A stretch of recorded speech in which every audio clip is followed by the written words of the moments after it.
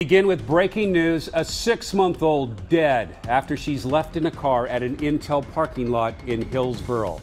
At 912, this is a special edition of KOIN 6 News. I'm Jeff Gianola. And I'm Ann State. This is heartbreaking. We have learned that the baby's dad works at Intel. Joel Iwanaga live at the Intel campus now with the very latest on how this happened.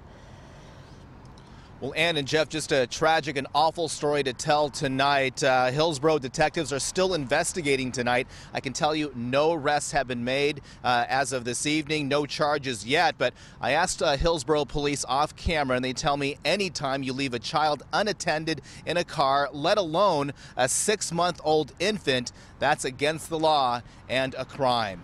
We'll take a look right now. Paramedics arrived here to Intel's Jones Farm campus just after 5 o'clock tonight. The six month old girl, I've learned, was in cardiac, cardiac arrest at the time. Her mother was performing CPR until first uh, responders took over.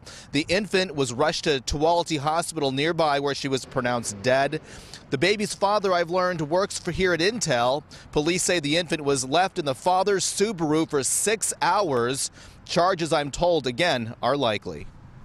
But anytime a child is left, a six month old baby girl left in a vehicle for six hours by herself, that's got to be a crime. It is absolutely, um, yes, uh, it's fair to say that you, you cannot leave a child unattended, period.